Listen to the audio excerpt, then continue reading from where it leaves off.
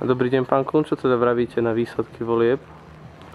Uh, tie voľby boli demokratické, boli slobodné a odzrkadľujú vôľu občanov. Uh, občania si vybrali, koho chcú mať za primátora. Uh, všetko je tak, ako má byť. Ako by ste komentovali fakt, že vo väčšine okrskov ste na druhom mieste, len v niekoľkých vás predbehol Karol Kováč?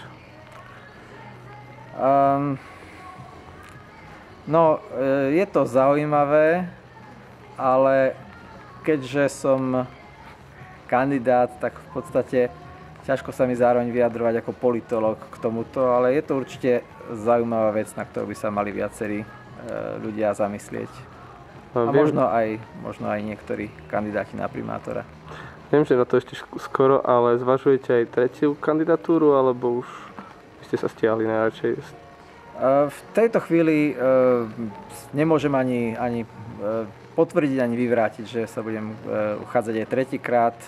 Čakajú ma najbližšie dva roky práce ako poslanca a budem pokračovať v tom, čo som robil doteraz, v naplňaní programu, ktorý som si, s ktorým som šiel do volie pred dvomi rokmi a možno o rok, o dva sa uvidí.